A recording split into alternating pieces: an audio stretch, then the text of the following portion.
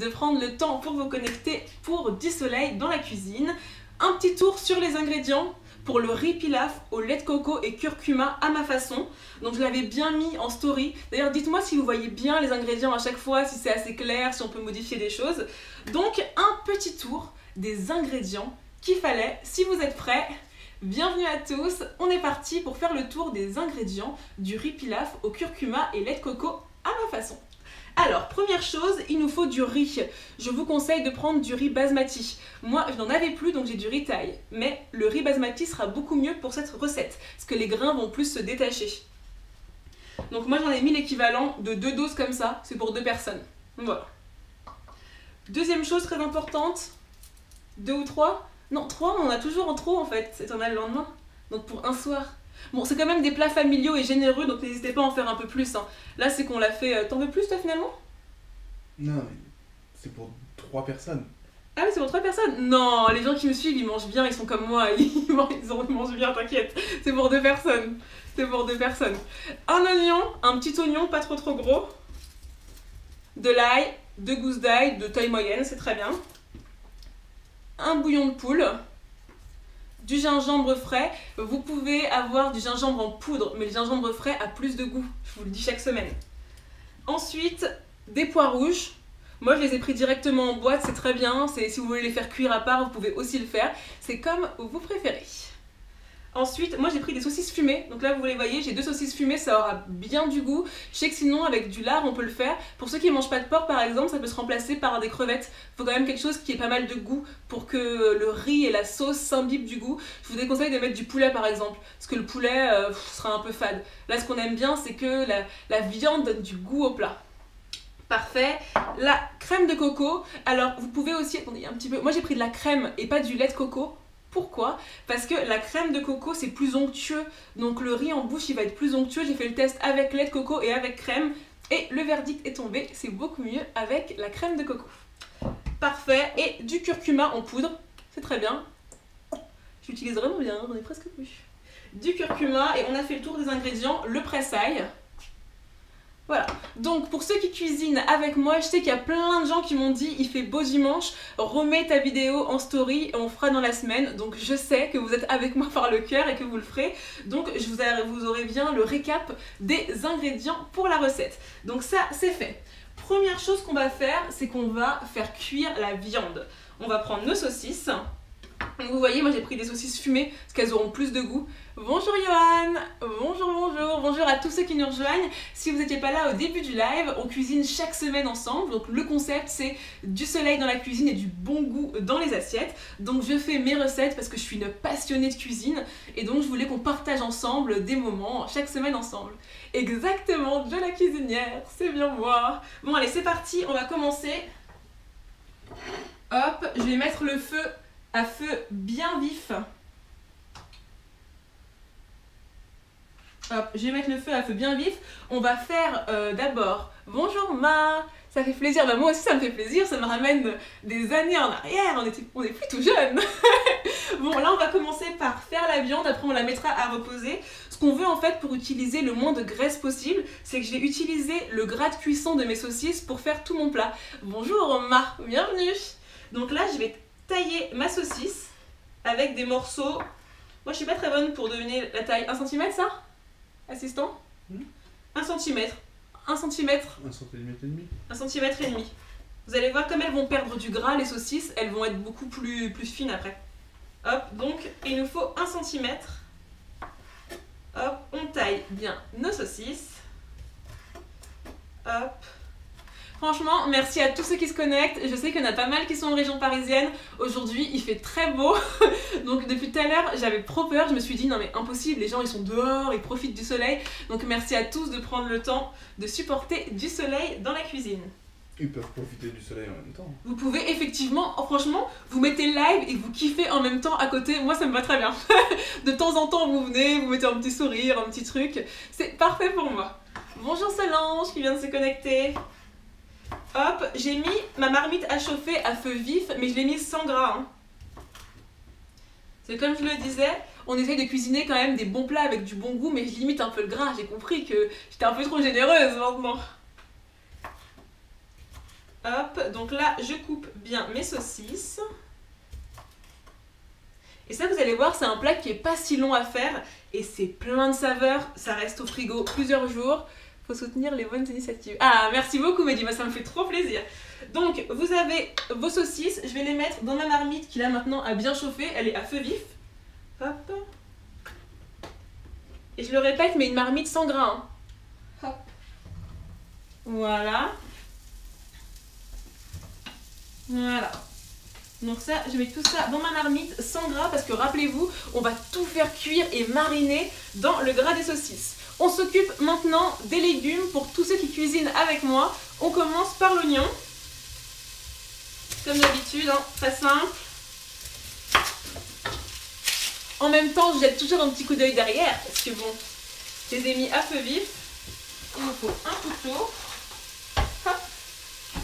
Bonjour Morgane, Morgane qui vient de se connecter. Bonjour, bonjour à ceux qui viennent de nous rejoindre. Alors, si vous venez de nous rejoindre, que vous avez juste vu une notification, Johan a fait un live, il vous explique un petit peu le concept. Chaque semaine, on se réunit pour cuisiner ensemble des bons petits plats. Le concept, c'est du soleil dans la cuisine et du bon goût dans les assiettes. Donc on est, euh, on m'a dit la semaine dernière, est-ce que tu feras des tiramisu aux fraises? Ce n'est pas le concept. Ici, on essaye de faire de la bonne cuisine qui est généreuse avec des bons produits. Tu as mis du saucisson, on dirait. Absolument pas, non. C'est de la bonne saucisse fumée, euh, je pense ardéchoise ou c'est un produit de nos régions. euh, c'est des produits des régions, ça. Regardez, il me reste encore un petit peu. Voilà. Et là, j'ai bien mis à feu vif, comme ça, elles vont bien lâcher tout leur gras. Hop. Ok, donc j'ai bien pelé mon oignon.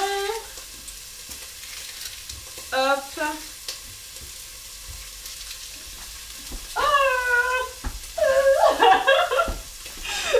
C'est vrai, c'est ma, ma poubelle qui est un petit peu encombrée pour le moment.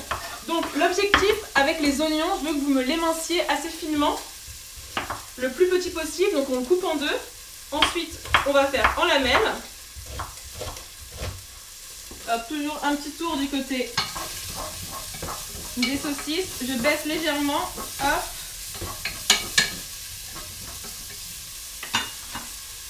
Et là, vous pouvez les couvrir un petit peu. Ça va leur permettre de lâcher encore plus toute leur eau. Hop. Les oignons, on les émince bien finement. Comme ça. Ah, bonjour Stéphanie qui vient de nous rejoindre. Voilà. Donc mes oignons émincés assez finement. Ah, bonjour Docker, là, il est toujours là, il soutient, il donne la force tout le temps, donc merci beaucoup. Hop, les oignons, on les émince bien. Et en fait, pourquoi un riz pilaf Donc le riz pilaf, ça vient pas, j'ai bien fait mes recherches, j'ai fait mes devoirs, il vient pas forcément d'un pays en particulier. En fait, c'est une façon de cuire le riz qu'on développe au Moyen-Orient et en Asie centrale. Donc après, chaque pays le fait un petit peu à sa sauce. Mais le concept, en fait, c'est d'avoir des grains de riz qui sont revenus secs dans, dans du gras. Donc soit on utilise euh, de l'huile, du beurre, avec toute forme de matière grasse. Et ensuite, ça va cuire à l'étouffer, soit au four. Voilà. Parfait. Vous voyez, mes saucisses, elles sont moins grasses que d'habitude. Et je disais, pour les gens qui mangent pas de porc ou qui ont des interdictions alimentaires ou qui mangent pas de viande, ça peut très facilement se remplacer par autre chose. Moi, je conseille des crevettes parce que les crevettes, vous allez quand même garder euh, du goût, un goût un petit peu fort. Et je vous déconseille de le faire simplement avec du poulet, par exemple, parce que ça apportera quand même mo- moins de goût. Je vous conseille quand même une viande qui apporte du goût pour ce type de plat. Voilà, donc mes oignons, c'est fait. Ensuite, il me faut du gingembre. Pareil, le gingembre, on le prend quand même frais, c'est meilleur. On va en prendre la quantité d'un pouce. Hop. Toi, tu regardes à côté. Oui. Bonjour à tous ceux qui viennent de nous rejoindre. Hop. Donc ça, c'est à peu près... Je dénude la quantité de gingembre qu'il me faut pour la recette. C'est à peu près ça. Et l'idéal pour le gingembre, c'est d'avoir une râpe microplane. C'est l'air un petit peu flou. voilà.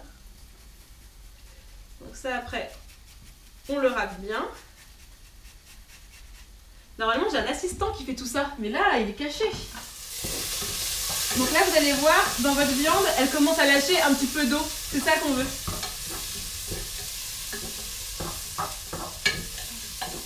Voilà. Parfait. Les cheveux, que sur un côté. J'arrête mon feu. Hum Les cheveux, que sur un côté. Sur un côté, tu veux mes cheveux Ouais, parce que là, on, on voit pas ta tête. Ah oui. Hop, donc là, je sors mes saucisses de la marmite. Et donc là, j'ai mon gras des saucisses qui est toujours dans la marmite que je laisse à côté. Et donc, on va tout cuisiner dans ce gras-là. Comme ça, on rajoute pas de gras en plus. Montre-toi. Non, l'assistant, c'est une star de l'ombre en fait. Lui, il apporte tout son pouvoir, tout son amour, mais il le fait cacher. Hop.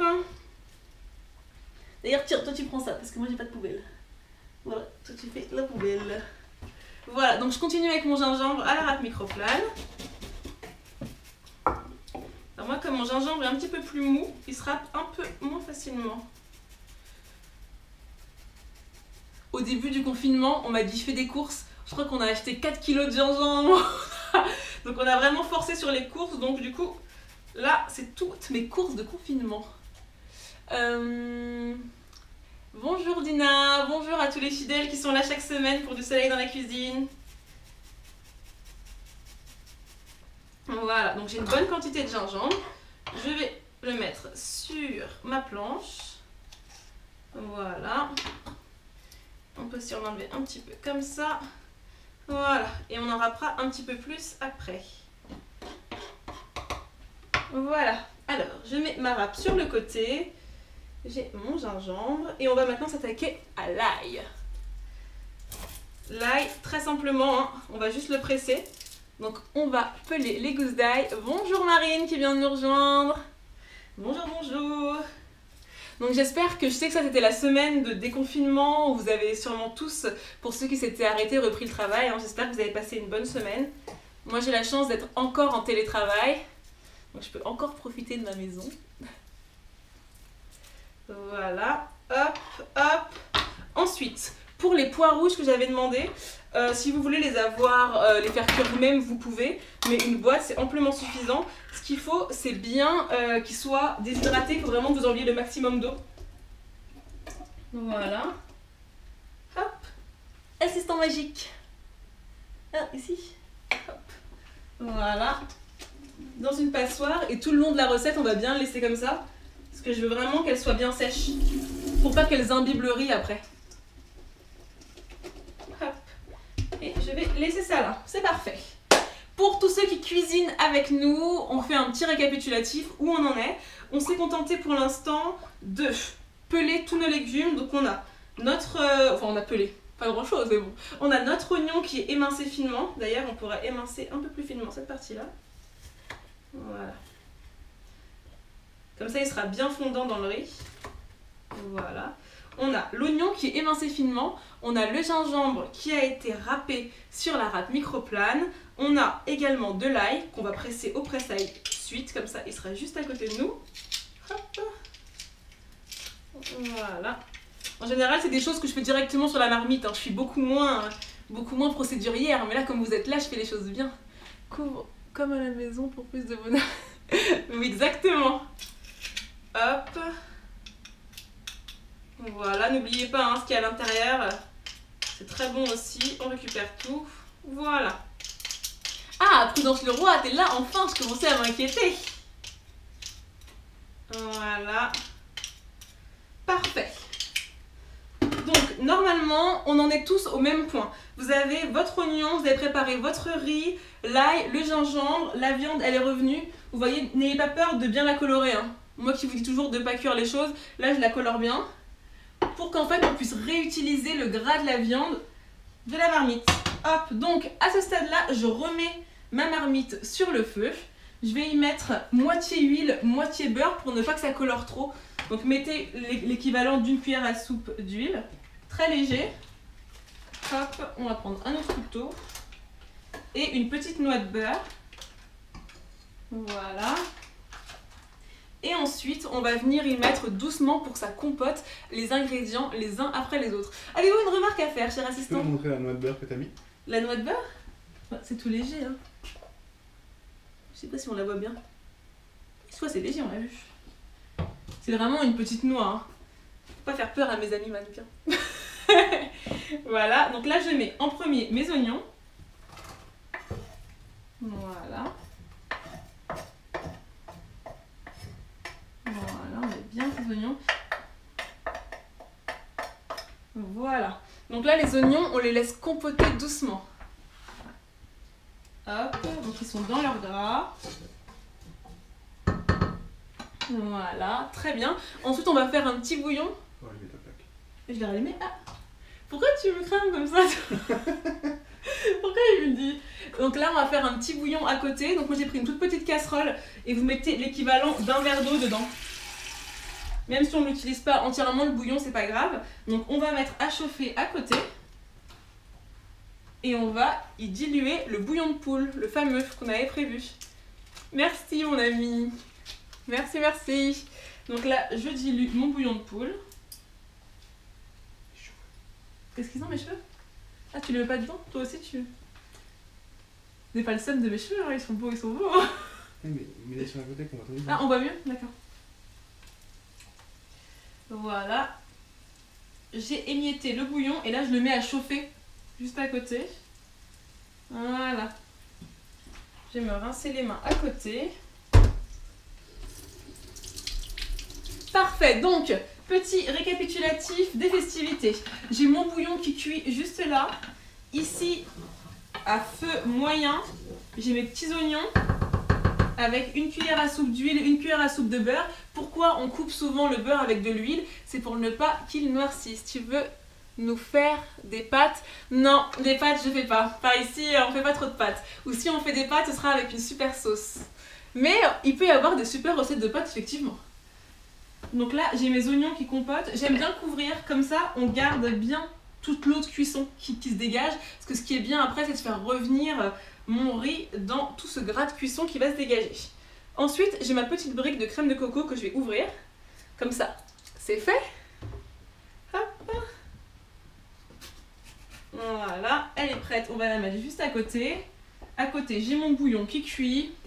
On est tranquille. Si les personnes qui cuisinent ont des questions, je sais que parfois en off m'envoyer des petits messages pour me dire je cuisinais en même temps, j'avais pas le temps d'envoyer des messages. Je suis désolée, n'hésitez pas à me poser des questions. Je peux prendre plus mon temps, mais là pour le coup, on est dans une recette où il n'y a pas énormément d'ingrédients et vous allez voir, c'est assez simple.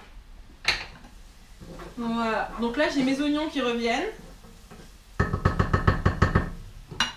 À couvert, comme ça toute l'eau et la vapeur d'eau, elle s'échappe pas et elle reste bien dans la marmite. Si vous avez des questions, les personnes qui cuisinent, n'hésitez pas. Je suis à votre écoute. Voilà, donc juste à côté, j'ai mon petit bouillon qui se fait. Il est d'une couleur étrange ce nouveau bouillon. Il a l'air. euh, On dirait qu'il est au curry. Ouais. Ah, il a un vrai, il a une vraie odeur. Bon, moi j'ai un bouillon très coloré, mais euh, faites avec ce que vous avez. Hein. Et comment t'as fait le bouillon déjà? J'ai pris un petit cube de bouillon que j'ai mis dans de l'eau. En fonction de ce que vous avez, si vous avez du bœuf ou une viande plus forte, vous pouvez adapter. Ou alors carrément faire un bouillon de légumes. C'est qu'on veut que le riz il cuise au lieu de cuire dans de l'eau et que le riz soit un peu plus fade. Il aura encore plus de goût. Là, nous, t'as pris un bouillon de quoi pour les saucisses? Euh, moi j'ai pris un bouillon de poule là, un bouillon de poulet. C'est un peu neutre, j'aurais pu prendre autre chose, mais c'est mon choix. Voilà. Voilà, donc quand mes oignons commencent à ramollir, on y est, vous inquiétez pas, on tient le bon bout.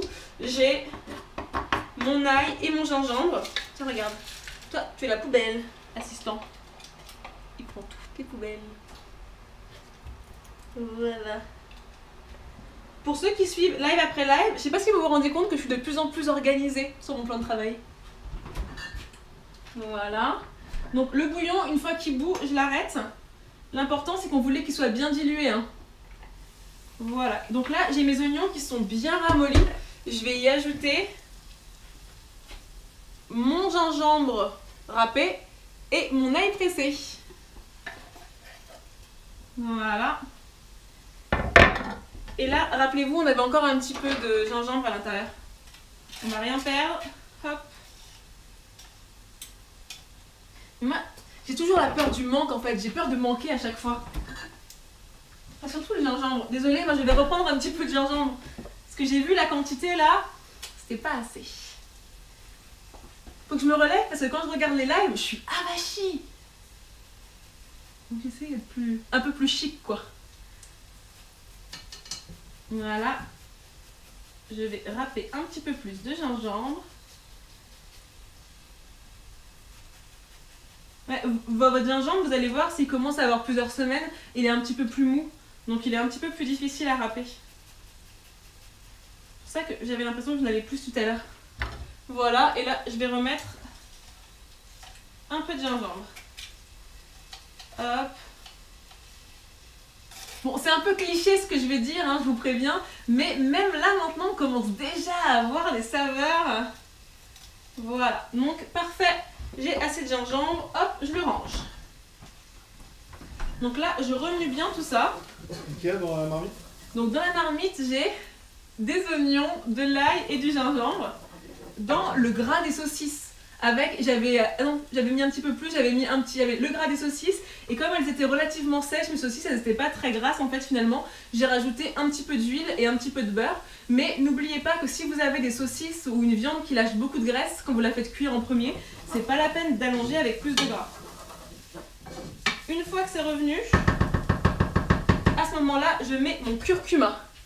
C'est selon les goûts, on peut doser le gingembre. Oui, je suis désolée Stéphanie, moi je suis là, je suis au feeling, mais on donne l'équivalent d'un pouce de gingembre en fait, il faut que ça fasse à peu près cette taille-là. Mais après, effectivement, c'est au feeling. Moi, ce que j'aime bien, quand, comme on aura du lait de coco et que c'est une sauce qui va être très ronde, le gingembre, ça booste un petit peu, c'est un petit peu le peps. J'aime bien. Pour le curcuma, je mets l'équivalent d'une cuillère à café. Hop, je vais la prendre pour bien doser. Une cuillère à café rase, hein, je vais mettre comme ça. Une cuillère à café rase, elle est pas bombée. Hein. Un petit peu plus. Voilà. J'ai mis une cuillère à café, mais une cuillère à café bien rase. Elle est, elle est pas bombée. Voilà. Ensuite, je vous rappelle que dans votre casserole, là vous avez ail, oignon, gingembre et votre cuillère à café de curcuma. Voilà. Hum, là, ça sent vraiment très bon. Tu sens, toi, l'assistant Oui. Tu peux essayer de booster un peu pour que les gens ils se disent Oh, ça a l'air trop bon la semaine prochaine, je vais le faire aussi son live. Oh, Putain, ça sent tellement bon Mais sans vulgarité, parce que peut-être qu'il y a des enfants qui regardent. Ah ouais. Et est-ce que tu peux ouvrir Tu vois qu'on est dans un truc de, de, de fumée ici? Ouais, mais c'est pour garder l'odeur justement. Ouais, mais là, on est dans la fumée ici. Bonjour à tous ceux qui viennent de nous rejoindre. Bon, pour ceux qui viennent de nous rejoindre, qui ont juste vu mon nom apparaître, qui ne savent pas ce que je fais, pourquoi je suis dans une cuisine? Je suis en train de cuisiner un riz pilaf au curcuma et au lait de coco à la saucisse fumée. Donc, merci de nous rejoindre, merci de kiffer avec nous ce moment. Même si vous ne cuisinez pas cette fois-ci, je vous rappelle que tous les dimanches, en fait, je suis dans ma cuisine, soit à 16h si on fait une recette sucrée pour le goûter, soit à 19h si on fait une recette salée. Futur enfant, il Mais euh, pourquoi tu... En fait, comme vous rigolez avec un délai, je ne sais pas de quoi vous rigolez en fait. Donc rappelez-moi c'est quoi les blagues que, que je fais pour que je puisse les refaire si elles sont vraiment drôles. Quand t'as dit que je, je devais pas être vulgaire parce qu'il y avait Ah oui. des enfants. Ah oui, c'est vrai. Donc là, en fait, je vais y remettre ma viande. Vous allez voir, on a presque fini. hein. En fait, il est assez rapide. hein. Voilà. Voilà, fait bien se mélanger. Au curcuma, je vais vous montrer ce que j'ai là pour l'instant. Pour l'instant, dans ma marmite, j'ai du gingembre, de l'ail, de l'oignon et mes saucisses qui sont bien revenues. Et on voit bien, c'est bien jaune grâce au curcuma. Je viens de me brûler pour vous, vous savez même pas. Oh là là Voilà. Pourquoi t'applaudis Bah, bravo. J'ai vraiment eu mal. Bravo. Voilà. Ah, J'ai encore un petit peu de curcuma là. Je vais pas gâcher. Quoi? Non, mais moi je vois un différé de 10 15 secondes donc. Ah, donc toi, je tu rigole en rigoles. décalé. Ah d'accord. Je vois ta tête. Voilà. Ensuite, rappelons toujours que le riz pilaf, c'est un riz qui va d'abord, en fait, les grains de riz comme ça, bien secs, ils vont revenir dans du gras. Ah, petite chose que j'ajoute, là c'est le moment pour ceux qui aiment les choses un petit peu un petit peu costaud, qui aiment les choses pimentées, c'est le moment où vous pouvez mettre du piment. Mettez ce que vous aimez. Non mais moi c'est pas du piment oiseau, mais euh, ils peuvent en mettre s'ils veulent. Moi je vais mettre un petit peu de pâte de piment. Hop. j'en ai bien mis. C'est quoi comme pâte de piment Moi j'ai pris du sambal walek parce que c'est ce que j'avais, il fallait que je le finisse. Mais là pour le coup, vous mettez ce que vous, ce que vous voulez. Il faut une pâte de piment, quelque chose qui donne le petit. Le petit caramba Comment on appelle ça Le petit. le petit Eh, plus tu, vas, tu vas pas nous le faire comme l'autre là Non. Vamos. Bah, moi aussi je suis d'origine Vamos. espagnole. Vamos Tiens, mais je me suis vraiment brûlée. Voilà. Parfait. Donc, à l'étape où on est là, on va faire revenir le riz dans le gras. Donc pareil, je remets l'équivalent d'une cuillère à soupe d'huile et l'équivalent d'une noix de beurre. Donc vraiment la taille d'une noix, pas plus. hein. Je vais vous montrer ma petite taille de beurre. Voilà. Je vais remonter un petit peu mon feu.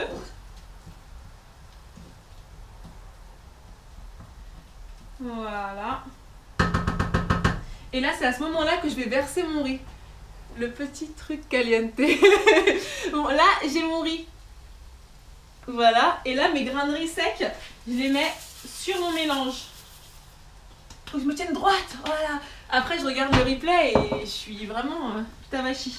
Et donc là, à ce moment-là, j'ai mis mon feu au max et je mets à revenir mes grains dans le gras avec les oignons, le gingembre, l'oignon. Et c'est là en fait que le, feu il est bien chaud et mes grains de ils vont bien saisir là, c'est maintenant. Voilà. Voilà, n'hésitez pas à mélanger comme ça pour qu'ils prennent bien toute la surface de la marmite. Et là on va les faire revenir un petit peu de chaque côté. En fait c'est rapide hein.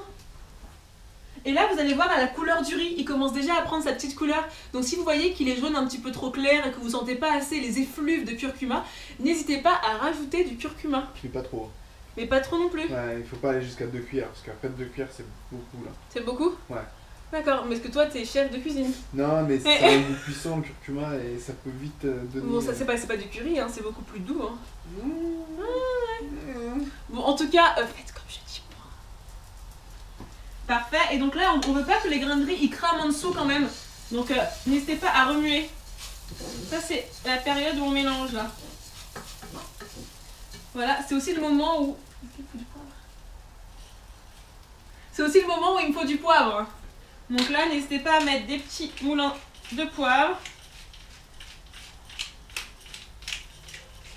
J'essaye de pas trop saler parce que comme vous avez de la saucisse fumée, le fumé il apporte déjà un, petit salé, mais vous pouvez, comme il y a, y a du lait de coco qui contrebalance, vous pouvez légèrement saler. Mais pas trop. hein. voilà. Voilà, des effluves là, moi. Oh là là C'est le poivre. Stéphanie, vous me manquez tellement avec. en gros, tu vois. Bah, je me demande en fait s'il est pas chef, parce que là il est caché là, mais. euh. voilà, donc là j'ai bien mes petits grains de riz, on va les laisser bien 5-10 minutes. Vous allez voir, après c'est que de la cuisson. Je vais bien vous expliquer les étapes pour que le riz soit réussi. Bonjour Anouk Ah Quel honneur que tu nous rejoignes Je suis désolée, depuis le début du confinement Anouk, je me jure que je dois faire du sport. Et oh, est-ce que tu peux juger en voyant mes petits bras dodus cette euh, pensée a échoué. Donc sache que je suis vraiment, vraiment, vraiment de tout cœur dans ton initiative. Anouk, allez la suivre, elle fait des super lives si vous voulez être fraîche les filles, ou d'ailleurs les mecs, hein, si vous voulez être frais pour l'été, allez suivre son compte, elle fait des super lives de sport que mes bras et moi devrions suivre normalement. bon parfait, là vous avez votre riz. Donc là, ce que je veux bien, c'est que tous les grains, ceux qui sont au-dessus et ceux qui sont au-dessous, je veux bien qu'ils prennent une jolie couleur dorée. Voilà. Doré par la cuisson ou doré par le curcuma? Non, en fait, il faut que ce soit bien doré par le curcuma, mais je veux que vous ayez l'impression qu'ils ont bien pris la chaleur. Donc ça se voit en fait, ils deviennent un petit peu blanc plus clair. Voilà. Oui, parce que le riz c'est un petit peu translucide à la base. Ouais, mais là, il est pas translucide. Je sais pas si vous allez le voir, je vais vous le montrer. Mais là, mes grains de riz, vous voyez, ils sont bien colorés. Te brûle pas. Non, je me brûle pas. Ils sont bien colorés par le curcuma, mais en même temps, on voit qu'ils ont été un peu torréfiés. C'est le mot que je cherchais. Donc je rappelle, c'est un riz en fait, c'est une technique en fait, le, le riz pilaf, c'est une façon de faire cuire le riz. Donc les grains de riz sont revenus dans une matière grasse et ensuite on les fait cuire à l'étouffée, soit au four, soit dans une marmite, avec un liquide de votre choix. Donc moi je choisis de le faire avec un mélange de crème de coco, pourquoi pas du lait de coco, parce que le, le lait de coco c'est un peu trop fluide, alors que la crème de coco ça offre une espèce de... Je sais pas comment l'expliquer, ça fait comme un petit coussinet, une rondeur que vous n'avez pas avec le lait de coco. Une fois que mes grains de riz sont bien revenus, là je pense qu'on y est. Hop. Je baisse mon feu à feu moyen. Et ensuite c'est le moment où je vais ajouter ma petite briquette de crème de coco.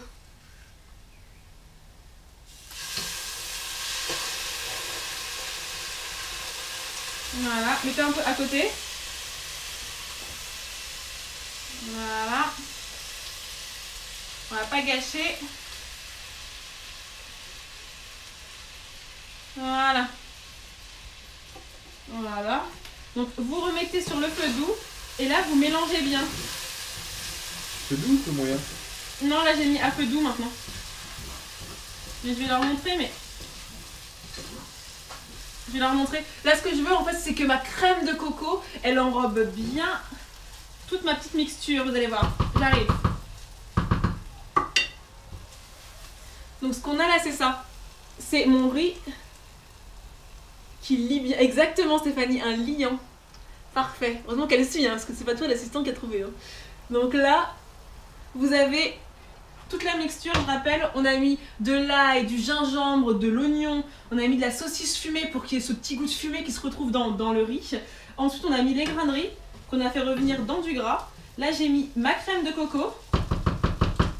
Ensuite, je vais y mettre du bouillon. Attention pour la dose de bouillon. Je vous conseille d'y aller étape par étape pour ne pas que ça vous fasse une pâtée de riz. Parce qu'on veut quand même qu'à la fin, les grains ils se détachent bien. Donc, je vous conseille de mettre la même quantité de riz que de, euh, que, que de bouillon. Ce que, ce que je veux dire par là, en fait, c'est qu'une fois que vous allez avoir votre bouillon dans la marmite, je veux que le bouillon et le riz soient au même niveau. Ah d'accord, T'as compris? J'ai compris. Ah bah voilà. Que le bouillon et le riz soient au même niveau. Exactement. Comme ça, mon bouillon et mon riz vont être pile au même niveau. Bah là, Voilà. t'as tout mis. Non, j'en ai encore un petit peu. J'avais fait la bonne dose, je connais mes doses. Voilà. Donc là, j'ai baissé mon feu, je suis à 3-4 maximum. Hop. En fait, ce que, ce que je veux, je vais vous le montrer. Parce que ça, ça c'est un peu la partie technique. Je veux que ce soit comme ça. Que mon bouillon il soit pile à la même hauteur que mon riz. Hum, ça sent bon. Des fois, je mets plus de curcuma. T'as t'as pas l'impression en regardant la couleur? Regarde la couleur. Plus de curcuma? Hmm. Bon, moi, à cette période-là, j'ai l'impression que mon riz, il est plus jaune d'habitude, donc je vais rajouter un petit peu de curcuma. Tranquille. Tranquille. donc là, je remélange bien. Voilà. Donc là, vous mélangez bien le riz avec le bouillon, la crème de coco et tous les ingrédients pour que tout se mélange bien. Voilà. Voilà. Ensuite, vous lissez bien. Je veux vraiment que le riz soit à la même hauteur que, que le bouillon. Là, je couvre. Et là, je vais laisser cuire à feu doux. Alors, très important, ne partez pas. Moi, je range en même temps, c'est juste ça maintenant, mais ne partez pas. Hop. Pendant que je range, je vais vous expliquer un truc hyper important, ne partez pas. Peur, hein Hein? Donc là, en soi, on est parti pour à peu près 15 minutes de cuisson. Sauf que ce que je veux pas, moi, c'est que votre riz, il soit en pâte. Donc je préfère vous... En fait, là, vous avez encore un petit peu de bouillon. Vous pouvez l'allonger avec un petit peu d'eau si vous en avez plus. Mais ce que je veux, c'est qu'au bout de 15 minutes, vous alliez voir votre riz. Comme il cuit à feu doux, il n'a pas de risque de brûler. Vous allez goûter le, le- grain de riz. Et si votre grain de riz, il est un petit peu trop dur, petit à petit, j'arrose avec un petit peu de bouillon et je referme pour 5 minutes.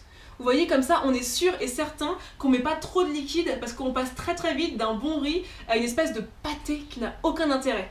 Donc on le fait comme ça et au moment où vous êtes satisfait de la cuisson de votre riz, vous avez vos pois rouges qui ont bien égoutté, qui sont là.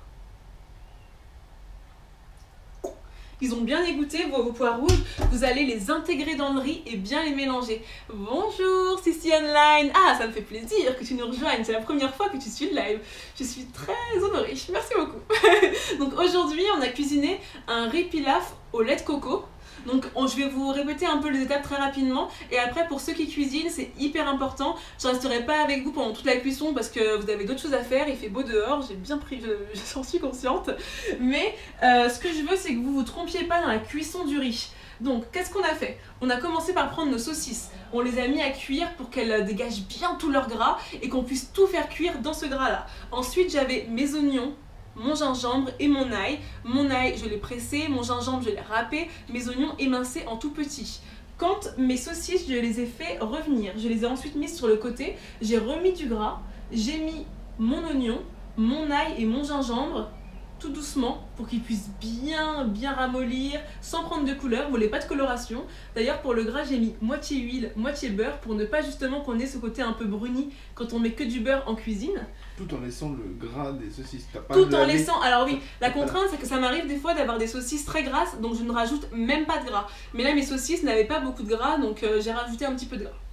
Voilà. Et t'as pas lavé ta cocotte. Et j'ai pas, surtout pas lavé ma cocotte. Si j'ai pris une saucisse fumée, c'est justement pour que mon riz, il ait ce petit goût de fumée quand il mijote à l'étouffer. Parfait. Donc, euh, ensuite, j'ai mis du curcuma. J'ai bien mélangé, j'ai fait revenir quelques minutes, d'accord? Jusque là, on est bien. J'ai remis mes saucisses à l'intérieur, j'ai bien mélangé. En parallèle, j'avais mis un verre d'eau dans une petite casserole avec un bouillon de poule qui a bien fondu. Ensuite, tout mon petit mélange qu'il y avait dans ma marmite, j'y ai versé ma crème de coco. Pourquoi de la crème de coco? Parce que je trouve qu'à la fin, c'est mieux que le lait de coco, qui enrobe mieux, qui est plus liant, comme dirait Stéphanie.